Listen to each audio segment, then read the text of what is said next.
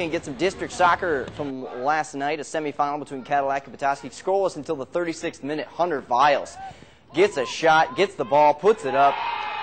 Will Spence tries to stop it, but it kind of bounces over the Cadillac keeper and goes in. Petoskey leads early one to nothing. In the second half, Spence was phenomenal, pretty much throughout the game, except for that one mistake, blocking shots. Here he is going high. There he is jumping in front of the net, getting well ahead of the ball, and uh, pretty much there at every key spot Cadillac needed him to. The Cadillac Vikings just could not deliver him a goal to keep this one going, and Petoskey wins it and advances to the district final, one to nothing there.